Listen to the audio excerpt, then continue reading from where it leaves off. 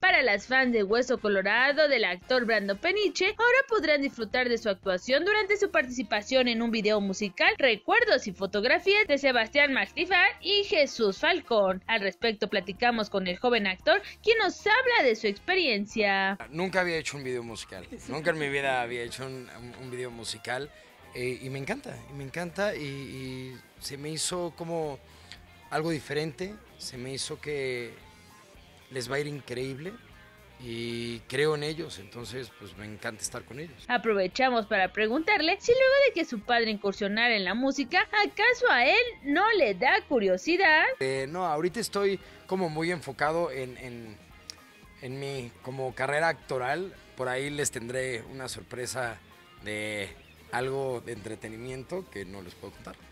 Pero, este, no, me gusta la composición, es algo que siempre he hecho, que sigo haciendo, pero eso de cantar, no sé, me dicen que sí lo haga, pero no sé. Por último, Brandon así respondió al preguntarle sobre el supuesto acoso que el actor Arturo Peniche sufrió durante sus inicios. No, mira, mi, mi papá fue alguien que jamás se metió en mi carrera.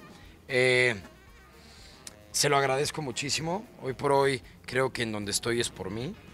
Eh, a veces algunas personas creerán que el apellido Peniche sirve, pero desde mi punto de vista a mí no me sirvió de nada.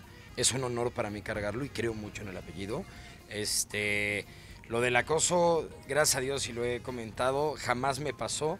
Creo que hoy ha pasado mucho, desde toda la vida hasta ahora, pero creo que también muchas personas lo están utilizando como para darse publicidad. ¿Tu papá te comentó algo respecto a lo que le pasó a un joven? No, jamás, no, ¿le pasó algo?